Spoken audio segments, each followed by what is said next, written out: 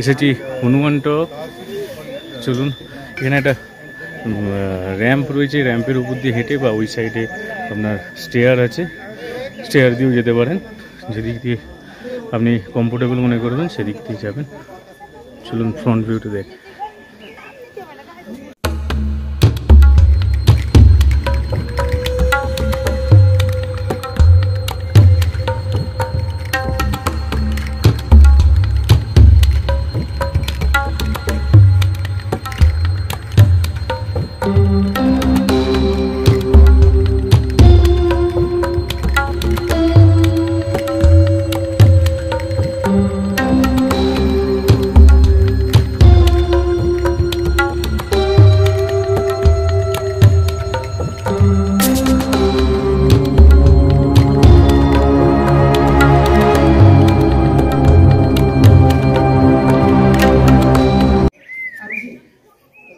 এই হনুমানটক মন্দিরটি হচ্ছে অ্যাকচুয়ালি হনুমানজিকে সমর্পণ করে এই মন্দিরটি করা হয়েছে। এখানে হনুমান মন্দিরের সঙ্গে সঙ্গে আরও রাম সীতা, রাম লক্ষ্মণ সীতা এবং সে কৃষ্ণ সঙ্গে হচ্ছে আপনার গণেশেরও মূর্তি আছে পাশের মন্দিরগুলিতে।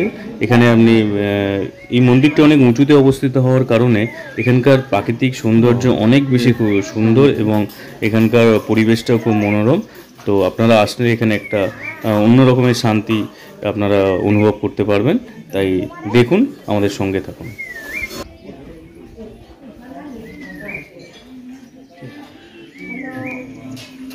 এই হনুমান টকের ইতিহাস যদি আপনাকে জানতে হয়, তাহলে অবশ্যই এই যে সামনে যে ছোট ঘরটি রয়েছে, এই ঘরটির এই সিঁড়ি দিয়ে নেবে এই ঘরটার মধ্যে প্রবেশ করতে হবে। তাহলে আপনি অনেক কিছু সংক্ষেপে জানতে পারবেন। দেখুন এর মধ্যে, আপনারা দেখতে থাকুন এখানে কীভাবে শোভিত হচ্ছে তার request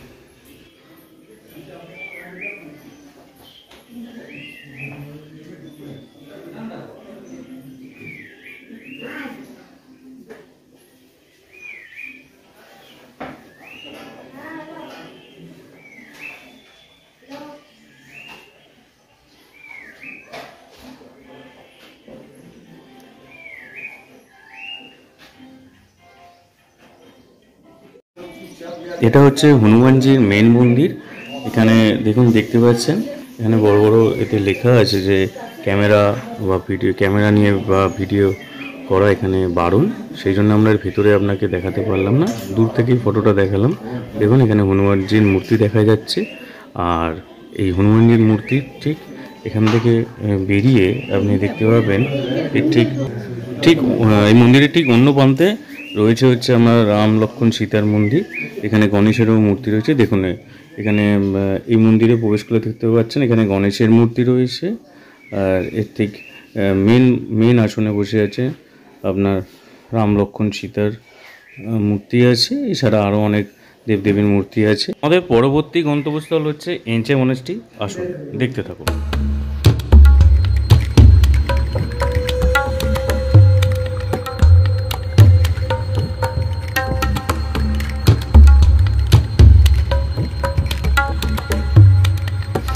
এখন আমরা রয়েছি ইঞ্চে মনেস্ট্রি ইঞ্চে মনেস্ট্রিতে এসেছি। এটা এই মনেস্ট্রিটা আমার খুব প্রিয় একটা মনেস্ট্রি দেখুন এই যে।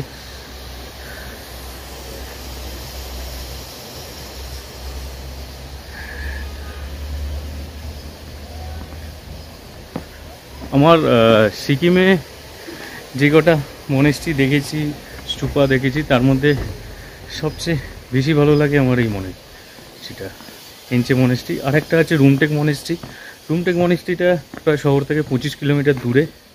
সেই জন্যে এটা আমরা কভার করতে পারছি না আজকে। আর কখনো অন্য সময় এলে আমরা তখন রুমটেক করব। দেখুন ফ্রন্ট ক্যামেরা কে দেখেন?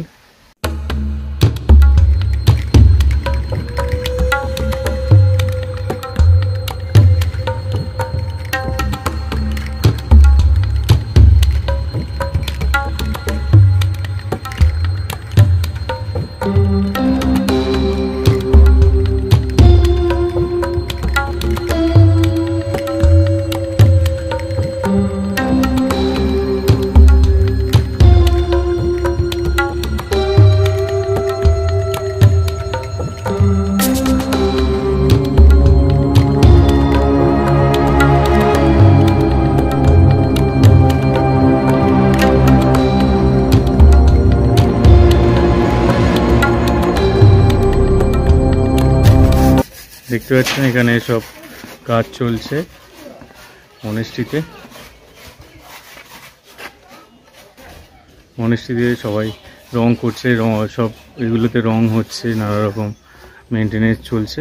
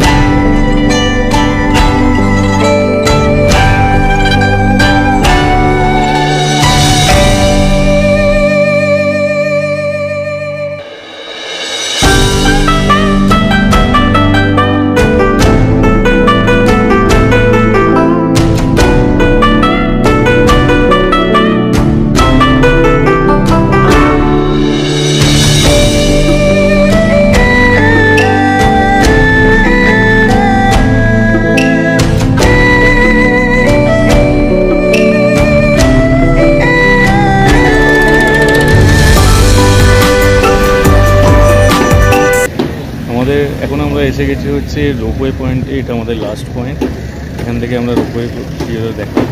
আপনারা দেখতে থাকুন। আর আমরা এখন টিকিট কাটবো। টিকিট কেটে তারপর রোপওয়েতে যাব এবং রোপওয়ে থেকে আপনাদের উপর থেকে আপনার গ্যাংটক শহরটি কেমন লাগে সেটা দেখাবো।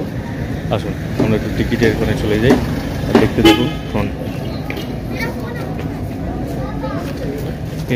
এখানে লেখা আছে গ্যাংটক রোপওয়ে দামোদর।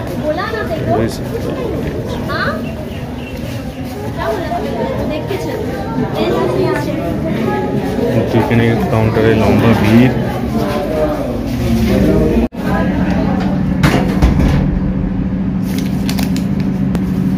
টিকিট পেয়ে গেছি, এখন আমরা যাব হচ্ছে রোপওয়েতে। রোপওয়ের কাছে উপরে গিয়ে আপনাকে দেখাচ্ছি রোপওয়েটা। আসুন টিকিট হাতে আছে। টিকিট হচ্ছে একশো ছেচল্লিশ টাকা। পাঁচ বছরের ওপরে পাঁচ বছরের কম হলে সাতাত্তর টাকা।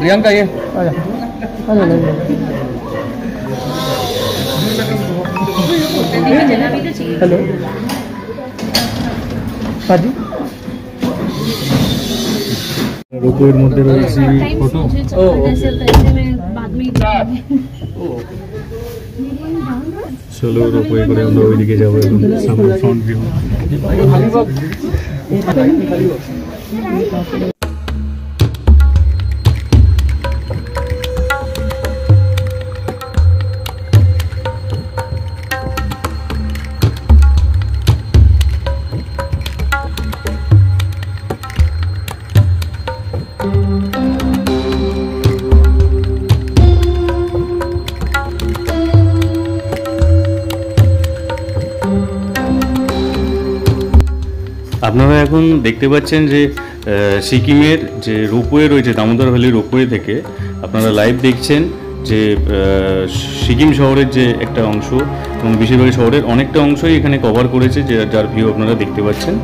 আচ্ছা এখন বলে রাখি যে আপনাদের এখানে এই যে সাইট সিন করছেন, এই সাইট সিনের জন্য আপনার কত খরচা হতে পারে? আপনারা যদি ছোট গাড়ি মানে যেগুলো ফোর সিটার গাড়িগুলি মোটামুটি বুক করেন, সেক্ষেত্রে আপনারা সাইড সিন করলে যদি টেন পয়েন্ট হয় থ্রি সেভেন সেভেন পয়েন্ট হয় থ্রি পয়েন্ট হয়।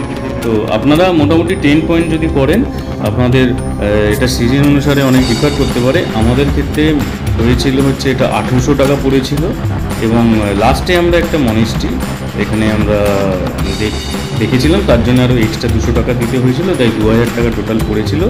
আমরা অনেক সময় এর থেকে আরও কম হয়ে থাকে, এগুলো সিজন টু সিজন ডিপেন্ড করে।